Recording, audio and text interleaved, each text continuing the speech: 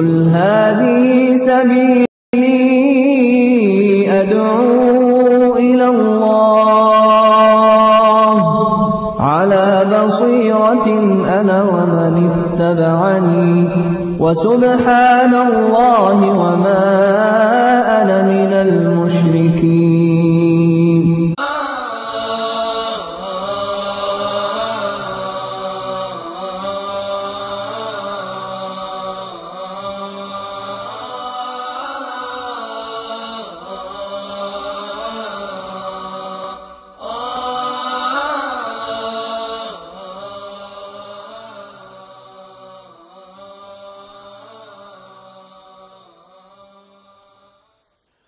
السلام عليكم ورحمة الله وبركاته. الحمد لله القائل وكذلك جعلناكم أمة وسطا لتكونوا شهداء على الناس. نحمده ونستعينه ونستهديه ونستغفره ونؤمن به ونتوكل عليه. ونعوذ بالله من شرور أنفسنا ومن سيئات أعمالنا. من يهدي الله فلا مضل له ومن يضلل فلا هادي له. وأشهد أن لا إله إلا الله وحده لا شريك له. الذي علمنا يا أيها الذين آمنوا هل أدلكم على تجارة تنجيكم من عذاب أليم؟ تؤمنون بالله ورسوله وتجاهدون في سبيل الله بأموالكم وأنفسكم ذلكم خير لكم إن كنتم تعلمون. يغفر لكم ذنوبكم ويدخلكم جنات تجري من تحتها الأنهار. ويدخلكم جنات تجري من تحتها الأنهار. ذلك الفوز العظيم. وأخرى تحبونها نصر من الله وفتح قريب وبشر المؤمنين. وأشهد أن قدوتنا وأسوتنا ومعلمنا رسول الله محمد صلى الله عليه وسلم الذي علمنا أن رأس الأمر الإسلام وأن عموده الصلاة وأن ذروة سنامه الجهاد في سبيل الله أو كما قال صلى الله عليه وسلم. اللهم صل على محمد وعلى آل محمد كما صليت على إبراهيم وعلى آل إبراهيم إنك حميد مجيد. أما بعد فمرحبا بكم أعزائي المشاهدين حول صفحات من تاريخ الدولة العثمانية بقيادة السلطان سليمان القانوني ابن السلطان سليم الأول ابن بايزيد الثاني ابن السلطان محمد الفاتح. تحت عنوان السلطان سليمان القانوني. يعلمنا أن للأوطان حرمة وأن للعقائد حرمة وأن للإنسان حرمة. علمنا سليمان القانوني أن نصرة المظلوم فريضة سواء كان على دين الإسلام أو على غير دين الإسلام. أيها المستمع والمشاهد الكريم والصفحات التي نعرض لها من خلال الغزوات التي قادها السلطان سليمان القانوني طيلة فترة حكمه. وكما ذكرنا من قبل أنه قاد ثلاث عشرة غزوة باتجاه أوروبا وباتجاه الدولة الصفوية وباتجاه الحوض الغربي للبحر الأبيض والحوض الشرقي للبحر الأبيض المتوسط. وذكرنا في لقاءات سابقة بيانا بالغزوة الأولى التي بدأت 1521 بعد وفاة أبيه سليمان بعد وفاة أبيه سليم الأول بتسعة ثمانية أشهر. بعد وفاة أبيه بثمانية أشهر قاد الحملة الهميونية الأولى باتجاه بلغراد اللي كانت تعتبر مفتاح أوروبا الوسطى. يعني يتحرك الجيش الإسلامي العثماني بقيادة السلطان سليمان القانوني باتجاه بلغراد اللي هو مفتاح أوروبا الوسطى اللي هي عاصمة يوغوسلافيا سابقا وعاصمة صربيا حاليا. لأنها كانت تهدد أمن ووحدة العالم الإسلامي الدولة الإسلامية. 13 حملة هميونية منها إحدى الحملات كانت استجابة لنداء والي المجر ومقره في العاصمة بودابست اسمه زابوليا. تعرض لتهديد من أبناء أوروبا. وكان زابوليا قد عينه بعد الفتح الإسلامي للبلقان للمجر. السلطان سليمان الأول كان حريص على أن يسند إمارة الولاية إلى أهل البلاد الأصليين.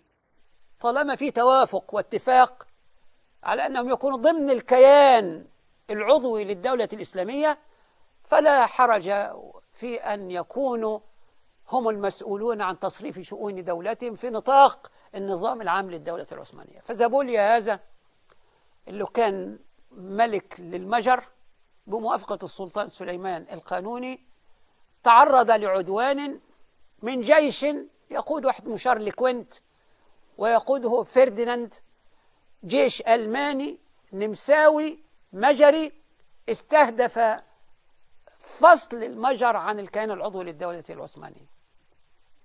استغاث زابوليا ملك المجر بالسلطان سليمان القانوني. اللي تعلم في مدرسة الإسلام أن نصرة المستغيث المستجير المظلوم فريضة شرعية. يحتمها الدين دين الإسلام. لأن الإسلام علمهم أن تحقيق العدالة في أرض الله فريضة. لذلك استجاب السلطان سليمان القانوني لدعوة زبوليا ملك البشر وحرك قوات من مئة ألف مقاتل. ده غير سلاح المدفعية 300 مدفع من أحدث أنواع الأسلحة في ذلك الوقت. وكان الجيش المجري الألماني النمساوي قد حشد 200 ألف مقاتل. وكان للألمان مساهمة خاصة 38 ألف مقاتل. كانت تستهدف المجر. وحينما علمت بأن السلطان سليمان القانوني قد تحرك باتجاه صحراء المجر الكبرى في منطقة اسمها موهاكس اجتمع الجيش الألماني المعادي. السلطان سليمان القانوني حينما خرج لنصرة إنسان مظلوم وخرج أيضا لحماية الأمن أمن الأمة وأمن الدولة الإسلامية اللي كانت قد امتدت حدودها في آسيا وأفريقيا وأوروبا على امتداد 14 مليون كيلومتر مربع ووحدتها فريضة لأن الأمة أمة واحدة. وفي كنفها يعيش أهل الكتاب ولهم حقوق المواطنة الكاملة ويصرفون شؤون شؤونهم الداخلية في ضوء معتقداتهم وتشريعاتهم إلا أن يقبلوا بالتحاكم إلى قيادة الدولة الإسلامية. أنا عاوز أقول دولة مترامية الأطراف لها نظام سياسي له مرجعية هي مرجعية الإسلام حقق الوحدة الوطنية الإسلامية بأجل معانيها. صار بقى وحدة بين الأتراك المسلمين. وبين أبناء أوروبا المسلمين في البلقان كلها وبين أبناء العرب المسلمين وحدة وبين شعوب آسيا وأفريقيا تحققت الوحدة بأجل معانيها. لا تنتقص لأحد قدرا ولا تأخذ لهم حقا. كل مواطن يأمن على ماله وعرضه و و ومقدساته وكنائسهم وبيعهم الكل والناس يأمنون على مساجدهم أقول في مثل هذه الظروف لما استغاث الملك زابوليا بالسلطان سليمان الأول تحركت القوات. ليس فقط لنصرة زابوليا وهو ليس على دين السليمان القانوني رجل نصراني مسيحي من أبناء أوروبا لكنه أيضا بالإضافة إلى نصرته وهي فريضة في لأنه ده من أبناء الدولة الإسلامية وحمايته فريضة حتى من أبناء أوروبا اللي هم إخوانه في المواطنة وإخوانه في العقيدة. فتحرك السلطان سليمان القانوني لنصرة زابوليا نمرة اثنين ولكسر شوكة شارلكان أو شارلكوينت اللي هو ملك أسبانيا المغتصبة التي شرد أهلها وأبيد كامل شعبها ورفعت شعارات النصرانية على مساجدها. وكان يستهدف أيضا فرديناند ملك ألمانيا. اثنين من طواغيت أو مجرمي آه، المجتمع الغربي في ذلك الوقت. من رحمة ربنا آه، في هذه المعركة يقولون أن السلطان سليمان القانوني ودي يورينا الثقة في الله. صحيح عد ما في الطوق ولكنه كان يعلم أن النصر من عند الله وما النصر إلا من عند الله العزيز الحكيم. عارف أن التدافع بين الحق والباطل سنة ربانية جارية لا تتغير ويبدل والأخذ بالأسباب فريضة لكن في نفس الوقت كان يدرك أنه من الأخذ بالأسباب أن هو اللجوء إلى الله. قيام الليل والدعاء والاستغفار والتوبة وأيضا طلب المعونة من الله عز وجل. لذلك يقولوا يعني دخل السلطان سليمان القانوني بعد صلاة الصبح بين صفوف الجيش وألقى خطبة. أذكرهم بأنهم خرجوا غضبا لحرمة الوطن الإسلامي ونصرة لإنسان مظلوم وكسر لشوكة عدو يكره الإسلام وكان له دور بارز في تصفية الإسلام في الأندلس عبر محاكم التفتيش ويذكرهم بأن طلب الشهادة في مثل هذه الموافق في هذه المواقف مشروعة وأيضا كان يختم ذلك بقوله إن روح النبي محمد صلى الله عليه وسلم ترنو آه، إليكم ببصرها وتنظر إليكم. مجرد الجند يسمعه من القائد إن روح محمد صلى الله عليه وسلم تنظر إليكم. فانهمرت الأعين بالدموع وانطلقوا لمواجهة الجيش الذي كان يقوده شارل كوينت وفرديناند اللي هو الأسباني الألماني النمساوي. وسبحان الله وانكسرت شوكة الجيش. الألماني الأسباني النمساوي الألماني على في مواجهة الجيش الإسلامي. سبحان الله يقولوا المعركة انتهت في طرفة عين ساعة ونصف. وكسر الشوك وكسرت شوكة الجيش الألماني النمساوي اللي هاجم آه، بودابست واستولى عليها انكسرت شوكته بيقولوا في ساعة ونصف انهار. جيش عمره كان في المنطقة 637 سنة. أصبح على يد السلطان سليمان القانوني في ذمة التاريخ. قل اللهم مالك الملك تؤتي الملك من تشاء وتنزع الملك ممن تشاء. وتعز من تشاء وتذل من تشاء. بيدك الخير إنك على كل شيء قدير. انكسرت الجيش. مش بس كده ده تبعثرت قواته شرقا وغربا. وهرب شارل كوينت وهرب فرديناند القادة الأوروبيون هربوا. كانوا يتحاشوا الصدام مع السلطان سليمان القانوني. عارفين أي معركة مع السلطان سليمان القانوني؟ هيكون عاقبتها آه، الفشل.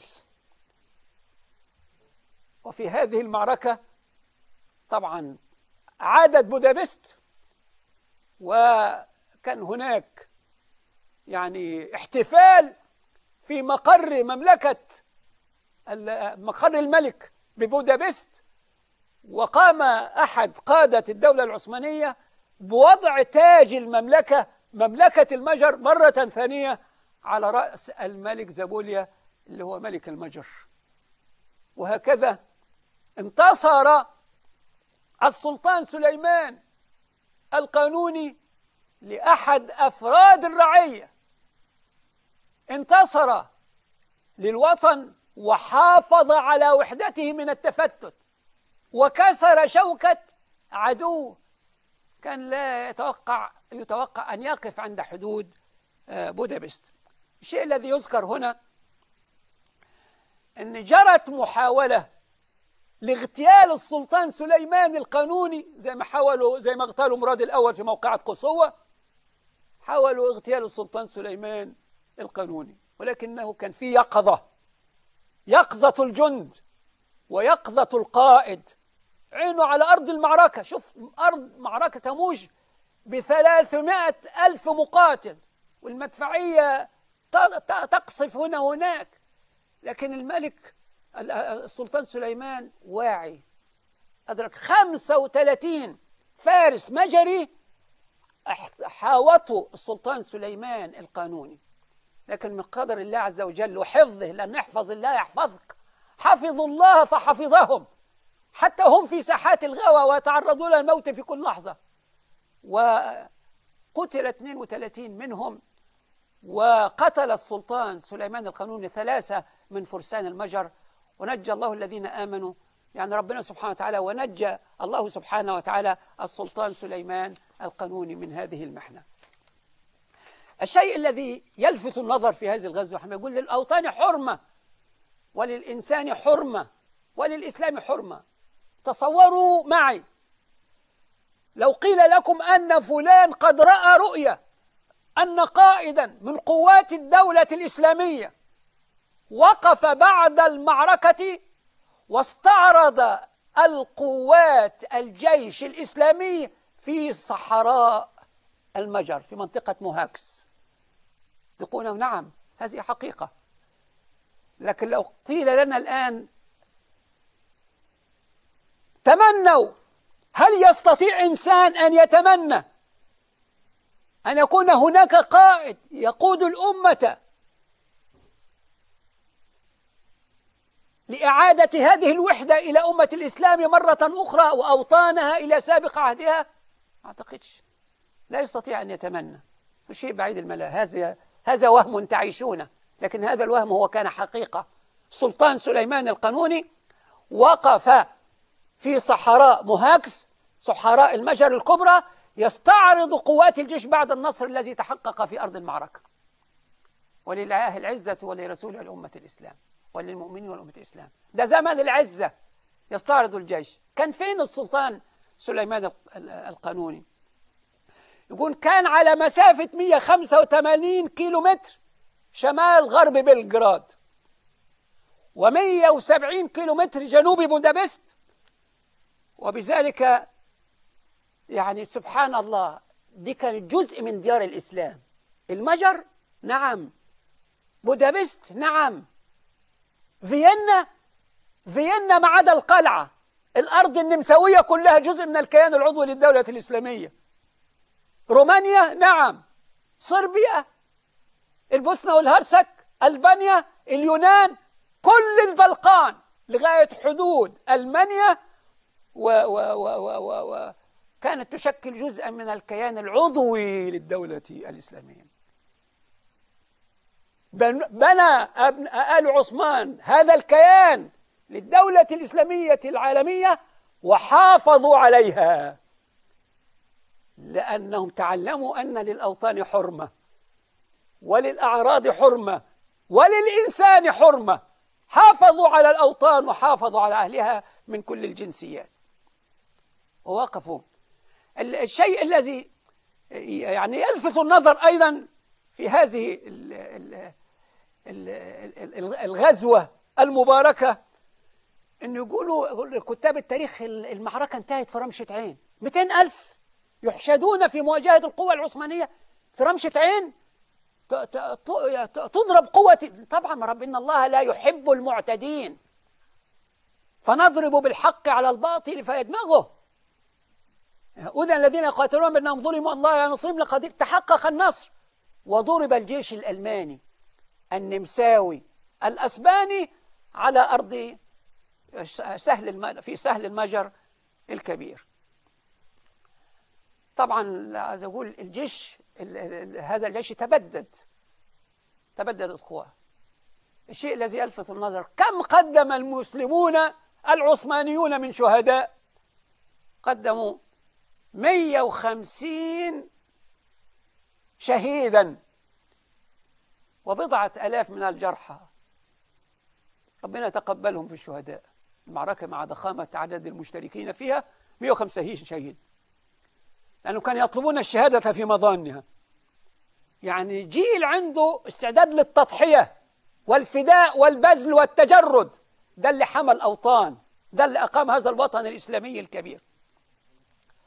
بعد أن تم استعراض الجيش الإسلامي في صحراء مهاج انطلق الجيش العثماني بقيادة السلطان سليمان باتجاه النمسا. وسبحان الله وفي النمسا وصلوا سراي الملك ليحتفلوا فيه بعيد الأضحى. وقبل ذلك تم الاحتفال بعيد الفطر في المجر.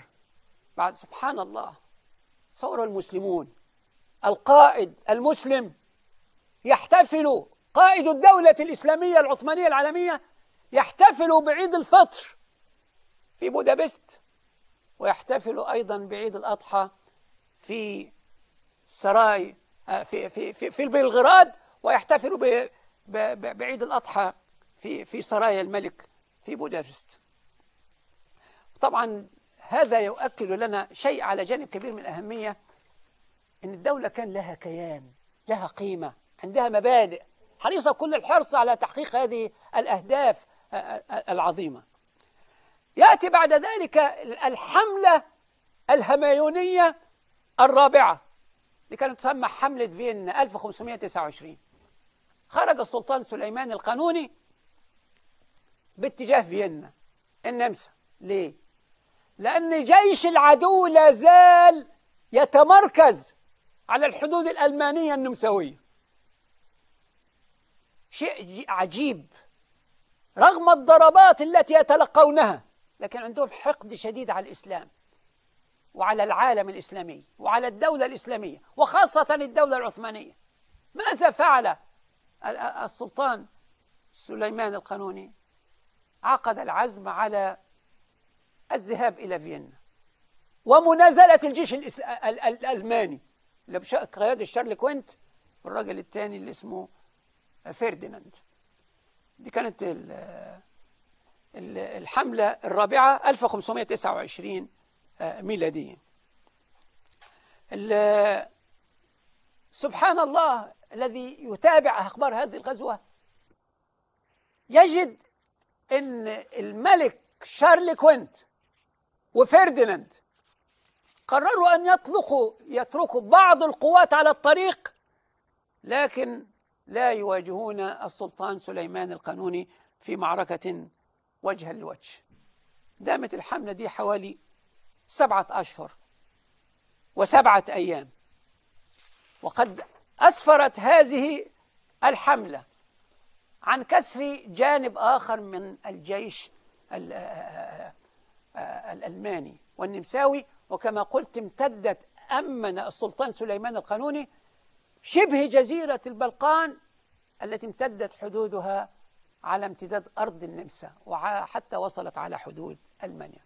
يبقى إذن الدولة العثمانية قلنا الدول السلطان سليمان القانوني يعلمنا ويذكرنا بالأوطان المنتهبة.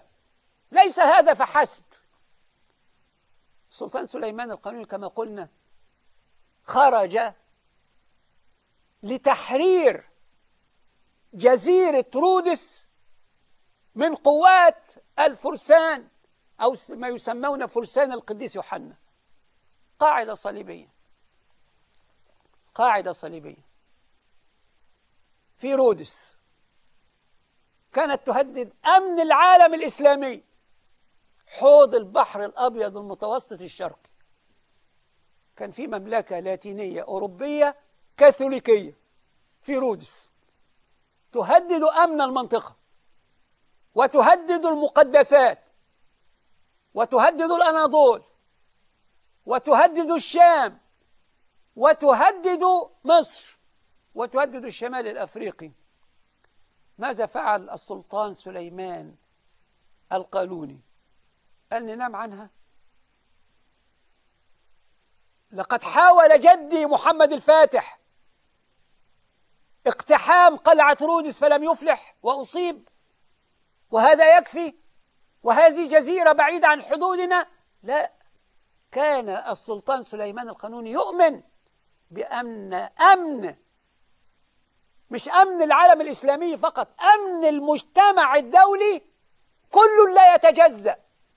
فطالما هنالك إجرام ومجرمون يهددون أمن منطقة معينة فهؤلاء استئصالهم واجب لأنهم يهددون أمن البشرية كلها. لذلك نجد أن السلطان سليمان القانوني عقد اللواء لحملة عسكرية برية وحملة عسكرية بحرية. وخرج بنفسه في الحملة البحرية رغم أن ده كان محرم طبقا للقانون العثماني ليه؟ لأنه ده كان يعرض ركوب البحر كان يعرض أمن السلاطين للخطر لكن أصر السلطان سليمان القانوني أن يخرج بنفسه في حملة رودس لرفع جهاد الرفع رفع العدوان الكاثوليكي الواقع عليها. وذا فعلا السلطان سليمان وحاصر جزيرة آه، رودس 144 يوم. وقدم المسلمون شهداء عشرين ألف شهيد وتضحيات كبيرة. وتحررت رودس وانتهت الدولة الكاثوليكية النصرانية اللاتينية التي كانت قائمة على أرض رودس لمدة 213 سنة منذ الحروب الصليبية. من الذي حررها؟ آل عثمان. الأتراك المسلمون. لأن تحرير الأوطان ورفع القواعد الأجنبية وكسر شوكة العدوان دي مهمة العالم الإسلامي كله بل مهمة البشرية. لأن دي فريضة شرعية وضرورة حياتية.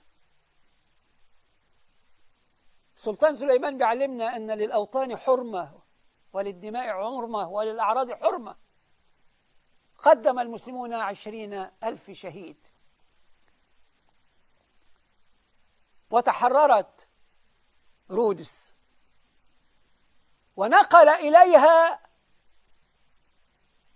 أناس مسلمون وغير مسلمين عاشوا على أرض جزيرة رودس وحشدها بال... بال... بال... وشحنها بالمقاتلة والعتاد يعني للدفاع عنها في مواجهة أي عدوان قد يطرأ عليها. مش بس كده سلطان سليمان القانوني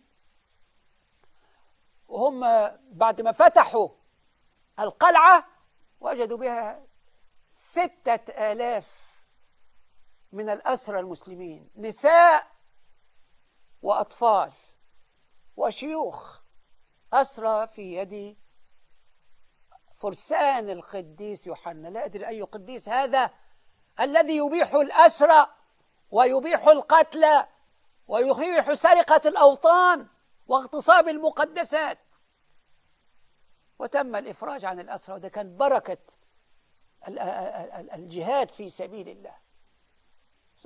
ستة ألاف أسير تم آه، تحريرهم من قبضة الشيء الذي نلمحه في الجند يعني الروح القتالية العالية.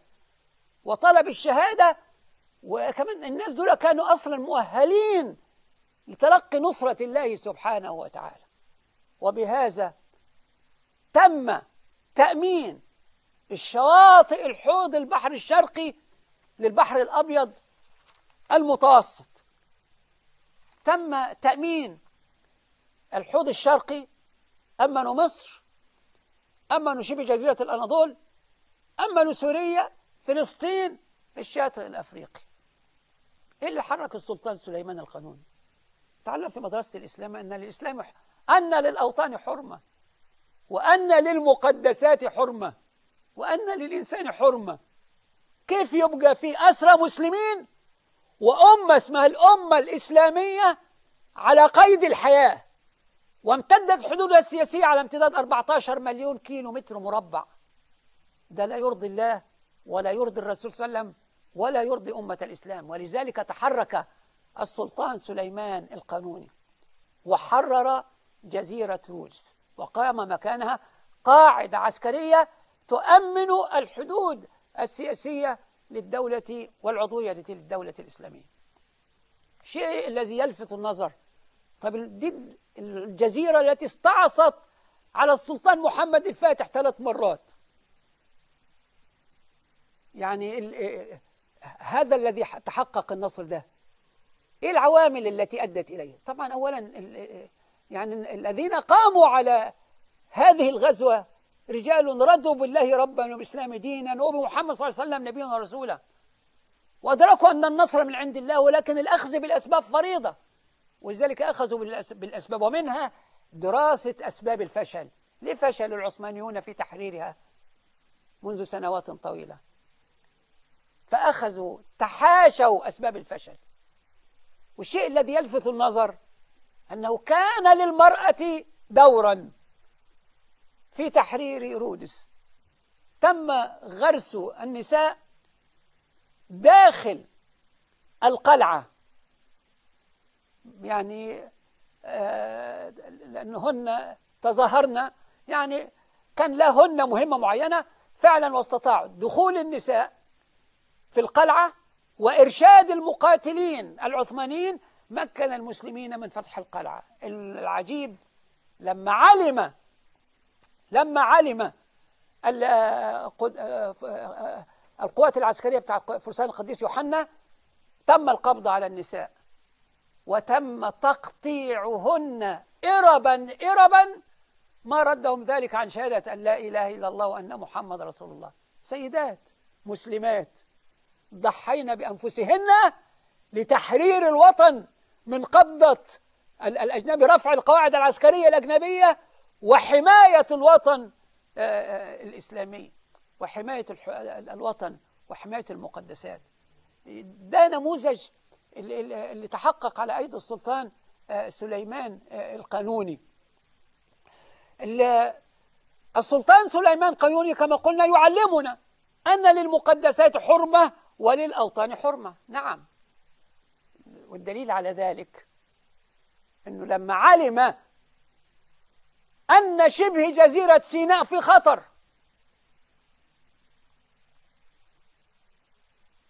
وأن هناك هجرات يهودية بدأت ببيت ليهودي على أرض سيناء وعلم أن أباه السلطان سليم الأول أصدر قرارا بمنع إقامة أي يهودي منعا تاما في مدينة الطور أو سيناء أو في فلسطين أو في بيت المقدس أو الشام لأن كان يدرك أن هؤلاء يشكلون خطرا على الدولة الإسلامية. ولم يكتفي بالأوامر والتعليمات إلى ولاة الأمر في المنطقة بل إنه سارع بدعم الأسطول الإسلامي في تل في مدينة السويس اللي كانت القاعدة التي ينطلق منها الأسطول العثماني. تدعيم ال ال ال القوات المسلحة في مصر والشام وعلى حدود فلسطين بمزيد من الأسطول والمدافع وأيضا البارود وقام أيضا بإنزال قوات في البحر الأحمر.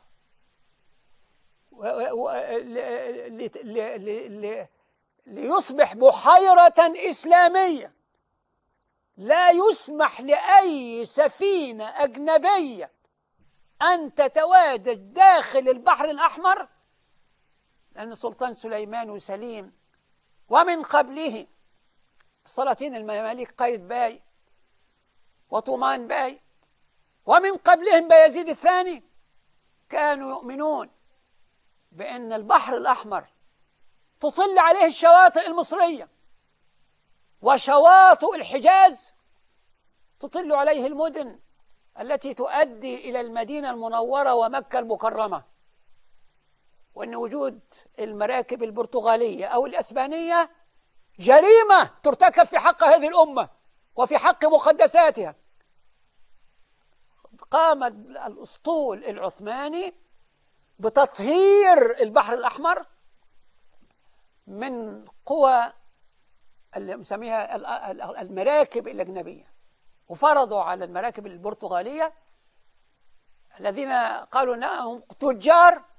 قالوا يبقى إذا أنتم عند مدخل البحر الأحمر تضعون تجارتكم وتنقل على ظهر المراكب الإسلامية إلى داخل حوض البحر الأحمر لكن غير مسموح لأي مركب أجنبي أنها تتواجد على هذه الأرض هذا البحر الإسلامي.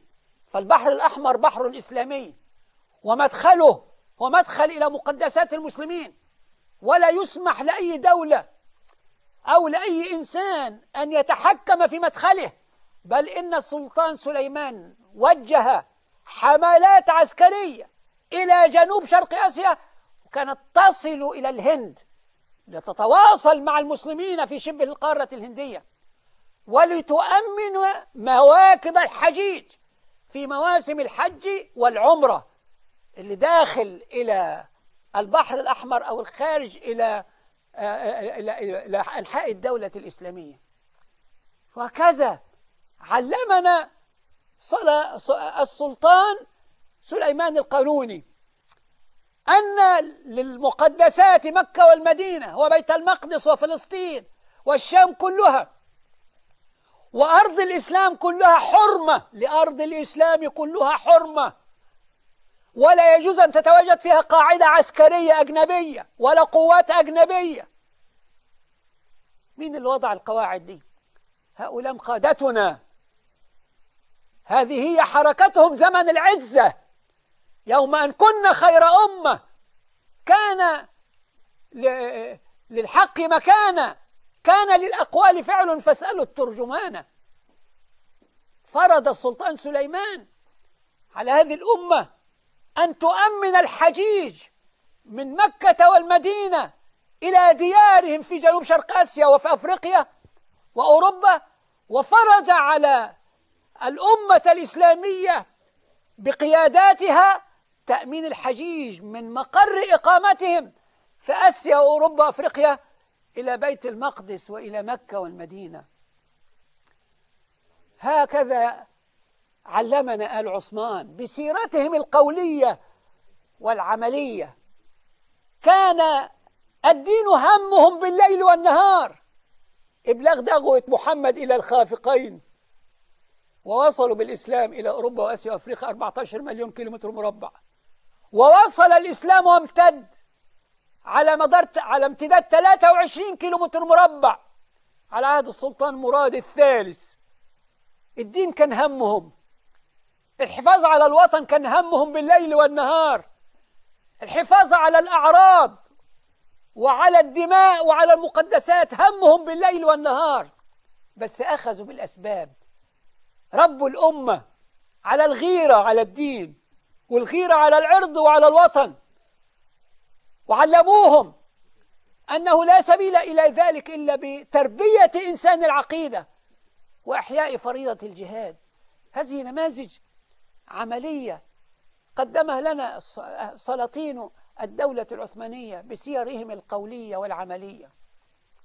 وهم بذلك يقتفون سيرة سيد الخلق محمد صلى الله عليه وسلم. ويقتفون سيرة الخلفاء الراشدين أبي بكر وعثمان وعلي رضوان الله عليهم. ويقتفون بذلك سيرة بني أمية وبني العباس. ويقتفون بذلك سيرة آل زنك عماد الدين زنك ونور الدين محمود وسيف الدين غازي وصلاح الدين الأيوبي يوسف ابن أيوب ونجم الدين. هذه هي صفحات من تاريخ أمتنا. صفحات من تاريخ الصراع بين الحق والباطل. بين أمتنا وبين أعدائها. ما أحوجنا أن نقف عندها خاصة أن الزمان دار دورته. ونسيت الأمة ما افترض الله عليها. نسيت الأمة. قطاع ضخم منها. نسي أن نشر الإسلام في مشارق الأرض ومغاربها فريضة شرعية وضرورة حياتية. دلوقتي دي وظيفة الوعاظ. وكافة. بينما أعداؤنا يستخدمون ما يسمى بالتبشير وهو التنصير على العالم الإسلامي. التنصير يزحف على العالم الإسلامي. ونسينا المهمة التي من أجلها بعث محمد صلى الله عليه وسلم. أيها الناس قولوا لا إله إلا الله. تفلح أيها الرسول بلغ. ما أنزل إليك من ربك وإن لم تفعل فما بلغت رسالته. والله يعصمك من الناس. الأمة كما هو واقعها نسيت. مش بس غزة دي نسيت أن فلسطين من النهر إلى البحر. بيت المقدس المسجد الأقصى. بيت المقدس الذي تغتصب ما تبقى من بيوت أصحابه. ويرحلون 1500 كم من الأسر. أصحاب الأرض. أجهزة الإعلام الفاجرة. تتنادى و و و و أو تكرر الباطل وتقول أصل ليس لهم مساكن غير قانونية طب والكيان الصهيوني يا ظلمة كيان قانوني. كيان الصهيوني كيان قانوني؟ لا قانوني ولا شرعي ولا سبحان الله الكلب مكيالين. حديث نسيت الأمة. أن تحرير بيت المقدس فلسطين كلها ورفع القواعد العسكرية في بلاد ال ال ال الإسلام ومنع الدعم اللوجستي للعدو الذي يعربد شرقا وغربا ويقتل ويشيع الفتن في أرض الله كلها فريضة شرعية وضرورة حياتية. هكذا كان محمدكم صلى الله عليه وسلم هكذا كان الخلفاء الراشدون الخلفاء الراشدين هكذا كان بنو أمية. ماذا سنقول بين يدي الله عز وجل؟ إذا سئلنا عن هذا الموقف المهترئ هذه الغثائية حب الدنيا وكراهية الموت الترف الجبن القعود عن نصرة هذه الأمة ودينها وإسلامها وفريضة شرعية وضرورة حياتية. ما أحوجنا أن نسترجع هذه الصفحات من التاريخ لنتعلم منها. مش ده تاريخنا أولئك الذين هدى الله فبهداه مقتده معنى ذلك لو كان بيننا سليم الأول لو كان بيننا سليمان القانوني لو كان بيننا محمد الفاتح أو بيزيد الثاني ما ظنكم أنه فاعل؟ لم يكن أمامه من شيء إلا أن يوقظ وعي الأمة. ويذكرها بفرض الله عليها. إن لدينكم حرمة ولأوطانكم حرمة ولا يحل لكم أن تقفوا مكتوف الأيدي حيال هذا العدوان الواقع على أوطان الإسلام وعلى أمة الإسلام. وعلى إخواننا في فلسطين كان هيقول لنا يا عالم يا إسلامي ماذا دهاكم؟ ما لكم إذا قيل لكم انفروا في سبيل الله سقرتم إلى الأرض. أرضيتم بالحياة الدنيا من الآخرة؟ متاع الحياة الدنيا في الآخرة إلا قليل إلا تنفيروا يعذبكم عذابا أليما. كنا سنستمع منه تحذير الله عز وجل إلا تنفيروا يعذبكم عذابا أليما ويستبدل قوما غيركم. يذكرنا بتحذير النبي صلى الله عليه وسلم إذا تبايعتم بالعينة. ورضيتم بالزرع وتبعتم أذناب البقر وتركتم جهادكم. سلط الله عليكم ذلا لا ينزعه عنكم حتى تراجعوا دينكم. هل يذكرنا بقول النبي صلى الله عليه وسلم ما ترك خوف الجهاد؟ إلا ضربهم الله بالذل. هيذكرنا بفرض الله علينا؟ كونوا كما كان محمد صلى الله عليه وسلم الذي انطلق يعرف الناس بربهم وبدينهم وبإسلامهم. وأن نصرة الأوطان فريضة ونصرة الأمة فريضة وانطلق ينتقي ويربي ويكون. حتى وجد إنسان العقيدة وبعدها أذن الذين يقاتلون بأنهم ظلموا وإن الله على نصرهم لقدير. عقد الرايات للسرايا والبعوث ستين سرية وسبعة وعشرين غزوة. وانطلق المسلمون شرقا وغربا لتحرير الوطن السليب من قبضة الاحتلام الرومي البيزنطي. حرروا الشام وحرروا مصر والشمال الأفريقي والشام كلها و و و و و و و وأشرقت الأرض بنور ربها. أشرقت الأرض بنور ربها بعد هذا الفتح العظيم. السلطان سليمان القانوني ما كان بدعا فيما فعله ما كان بدعا في غيرته على الوطن. وعلى الدين وعلى المقدسات وعلى بيت المقدس وعلى أرض الشام كلها. فكان لا ده كان كده كان هو الآن ينبع حركته من معتقده. فما أحوجنا إلى وقفة محاسبة مع النفس. يا أيها الذين آمنوا اتقوا الله حق تقاته ولا تموتن إلا وأنتم مسلمون. يا أيها الذين آمنوا يا أيها الذين آمنوا